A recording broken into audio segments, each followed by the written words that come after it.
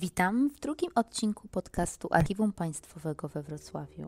Dziś przybliżę Wam nocne fotografie przedwojennego Wrocławia, które pochodzą z unikatowego i bezcennego dzieła pod tytułem Album Breslau. Zastanawiacie się pewnie, czym jest wspomniany album.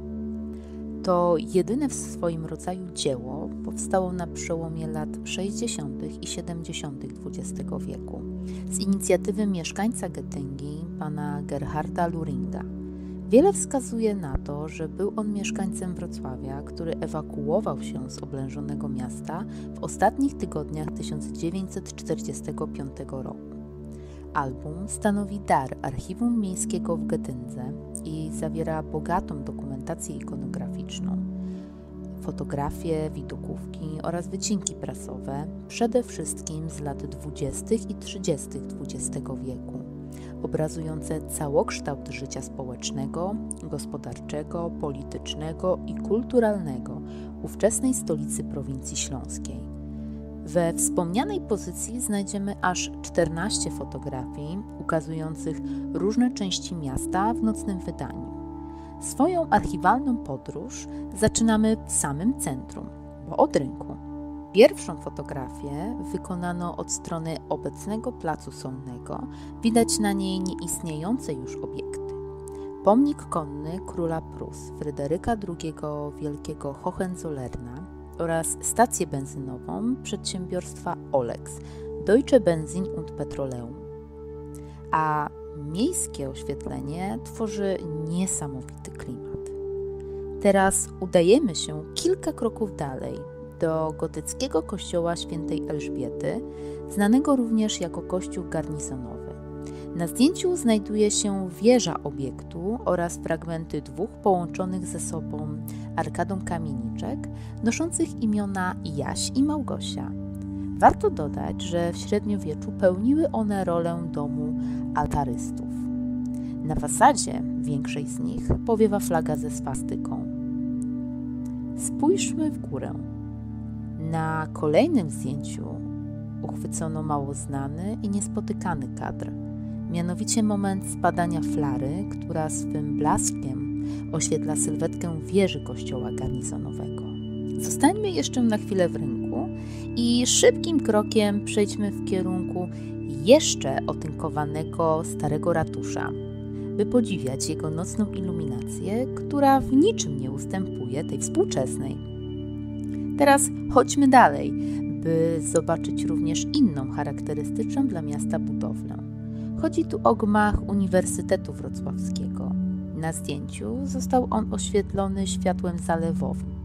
Gdy patrzy się na fotografię, można odnieść wrażenie, że została wykonana poprzedniej nocy. Teraz skupmy się i zamknijmy oczy.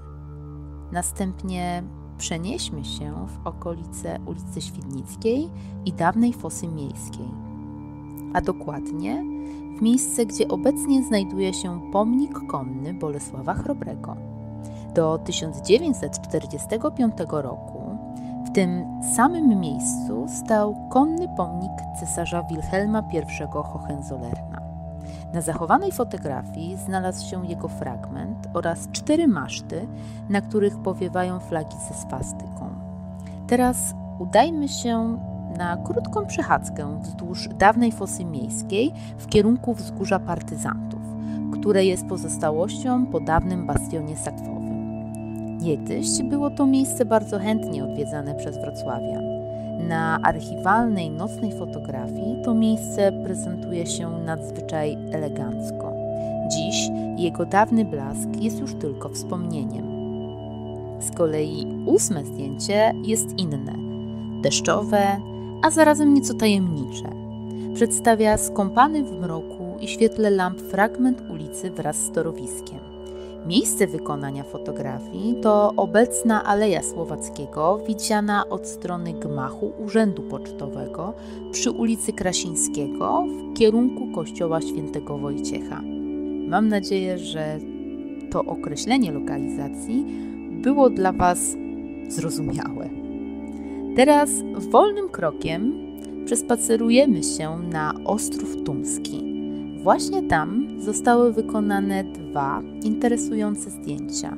Pierwsze z nich ukazuje wieżę obecnej kolegiaty pod wezwaniem Świętego Krzyża i Świętego Bartłomieja oraz niewielki fragment XVII-wiecznego pomnika Świętego Jana Nepomucena.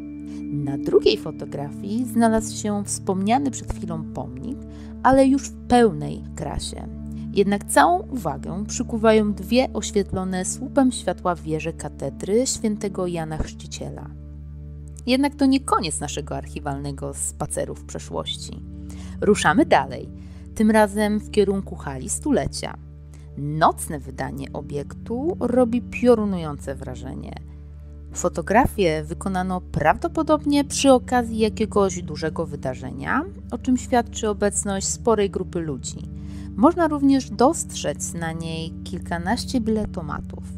Zatem, czy w czasie wykonywania tego zdjęcia odbywał się tam pokaz filmu lub jakaś duża premiera? Kto wie? Wśród kolekcji zdjęć znalazło się również takie w zimowym wydaniu. Ukazuje ono nieistniejący dziś most Lessinga. Stalowy obiekt znajdował się pomiędzy dzisiejszym Dolnośląskim Urzędem Wojewódzkim a Muzeum Narodowym. Dwa z czterech jego przęseł ucierpiały poważnie w 1945 roku. Wówczas uznano, że odbudowa obiektu jest nieopłacalna i ostatecznie most rozebrano w 1958 roku. Nasza podróż powoli dobiega końca. Przed ostatnim zdjęciem pochodzącym z albumu Breslau jest to przedstawiające budynek dworca głównego. Czarno-biała fotografia pochodzi z prasy. Widać to po fakturze papieru oraz jakości druku. Na zakończenie wspomnę jeszcze o ostatniej z fotografii. Jest ona nieco enigmatyczna, dlatego że nie wiadomo, gdzie dokładnie została wykonana.